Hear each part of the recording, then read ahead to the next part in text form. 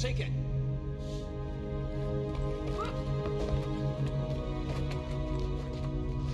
Hey, you smell something?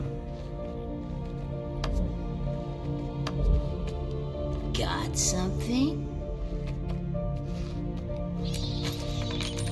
Here, take it. Always a pleasure.